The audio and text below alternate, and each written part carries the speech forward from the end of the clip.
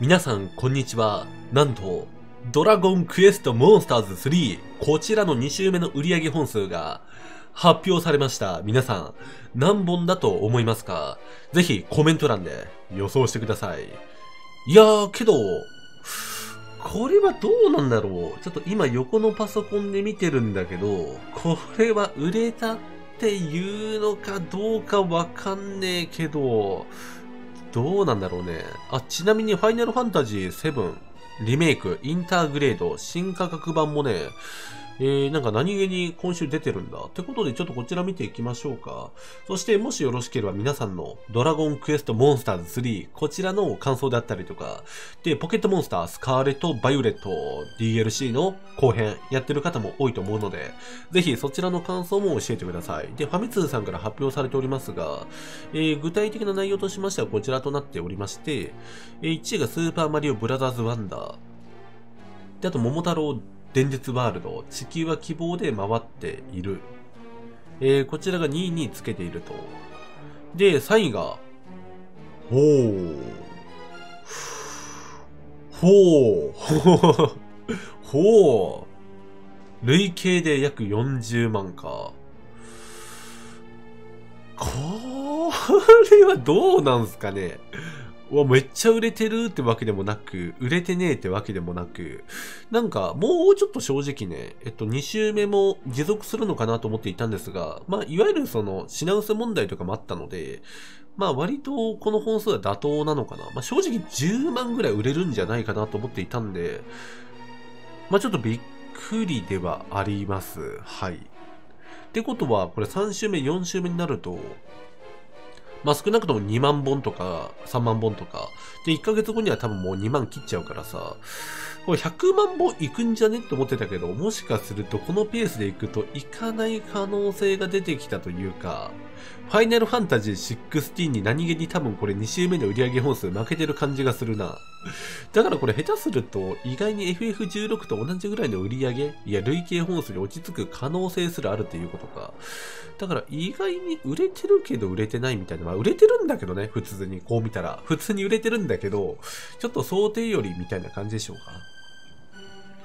で、ピクミン4が入ってきていて、で、スーパーマリオ RPG がね、リメイクにもかかわらず、なんと40万近くね、売れているといったところ。いやー、これもすごいですね。はい。で、あと、ファイナルファンタジー、えー、7リメイク、インターグレード、新価格版。あんまり売れてないね、消化率見てると。消化率見ていると、実はあまり売れていないといったところで。この消化率も結構曖昧だからさ、よくわかんないんだよな。結局、これってどうなんだろうみたいな。で、超踊るメイドインワリオとかが入ってきたり、えーマイクラマリオ、えースマブラあつ、あつ森？なんかあつ森ってさ、なんかしばらく、えっと、県外だったイメージなんだけどさ、なんでこのタイミングで入ってきたんだ？え、あつ森って今どういう状況？え、何かキラーアップデートみたいなものがあったんだっけ？いや、ちょっと全然わからないけどさ、え、後で調べておくわ。な、なんであつ森みたいな？で、あとまあ、アバターフロンティア・オブ・パンドラ、人生ゲーム。へえ。えー、スカバイが入ってきました。おーバイオレット。えー、ゼロの秘宝 全然売れてねえ。全然売れてねえ、これ。いや、みんな多分これ買わないでしょっていう。で、スプラ3、マリオパーティー、ニンテンドースイッチスポーツ。はい。なるほど。で、太鼓の達人、マリオパーティー、スーパースターズ、えー、ティアキン、ホグワーツ。お、ホグワーツも意外に売れてんだね。えースイッチ版でも。はいはいはい。なるほど。なるほど。ファッションドリーマーって何？なんだこれ？あー、なんかこういうゲームがあるわけね。マーベラスって書いてあるわ。これは一体何なんだろうね。まあなんかいろいろあるみたいでは。で、ディスカバリーか。で、気づけばなんかディスカバリーも100万本超えていて、で、ピクミン4もね、100万本超えてるんですね、累計で。すごいな、これ見てると。ちょっと待って、なんかどこ、どこ行ってるかわかんなくなってきたわ。えー、っと、100万本超えてるわ。すごいよね。てか、任天堂やばくね？ほとんどこれ任天堂のソフトじゃん。お前、任天堂やばすぎだろ。どうなってんだみたいな。一人勝ちじゃねえか、これ完全に。いや、プレステ、ちょっと息してねえんだけど、大丈夫これ。で、ティアキンが約200万本近く売れてるんですね。なんか意外にティアキンって売れてないのか？日本では。ね。まあ売れてるけど、思ってるよりみたいな感じかな。へえ。こんな感じか。はいはいはい。まあスクロールするとこんな感じでしょうかね。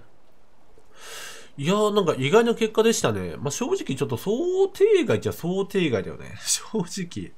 あ、そんな感じなんだっていう。で、あとはやっぱりプレステのゲームが全く入っていなくて、まあ、ちょっとね、心配というか、お前大丈夫かって感じですよね。いやけど、モンスターズ3がなんか思ってるより売り上げが伸びなさそうな雰囲気が出てきたから、まあ、ちょっと意外でした。うん。まあ、100万本いくタイトルになるんじゃねえかなと個人的に思ってたんだけどね、なんだかんだで。こんなになんか失速するんだ、2周目で。ただそう思うとやっぱ桃太郎電鉄とかさ、えー、マリオ RPG と同じ時期に出ましたけど、未だに6万本売れてるわけで、で、2位につけてるわけですからね。で、マリオワンダーとかもさ、まあ、結構前に出てるけど、えー、今1位で8万本売れてるわけで。で、基本的には100万本やっぱり超えるタイトルって、なんか2周目以降もね、持続的に5万本以上売れるのが通例なので、で、それこそ発売から1ヶ月ぐらい経っても5万本以上普通に売れてるからね。マリオワンダーとかもそうだし。で、桃太郎電鉄もそうなのか。いやけどやっぱそう考えると、100万はかなり厳しいでしょうね。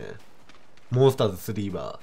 まあ70万とかは下手するといくかなってところですけど、うん、60万もちょっと厳しいんじゃない？まあ FF16 の累計に負ける可能性があるって言ったけど、さすがにそれはないか。まあハードの問題もあるから。まあ言っても FF16 は超えるけど、ただそんなになんか大差開けるみたいな感じにはならないでしょうね。累計に関しても。まあそんな感じでございますよ。ただ、FF16 って今思うとすごかったんだな。だって2周目でもさ、確か結構売れていて、40万本2周目の時点で超えてなかったっけまあ確かそれに近いような本数だった記憶があるからさ。で、プレステ5でハード普及率も考えると、まあ結構検討はしてたんだね。今思ったら。だからまあ、それこそね、FF16、まあグラフィック落ちて、まあ誰に対して売るのって話になっちゃうけど、ただ、えっと、任天堂スイッチ向けにグラフィック落としたりとか、ボリューム落として発売した方が、なんか売上本数としてはもしかすると伸びた可能性がありますよね。まあ、100万本いくかどうかまでいったんじゃないかな。だってプレステ5ですら45万とかそんぐらいでしょ？まあ、相当大きいよね。そう。まあ、そんなところで一旦終わりましょうか。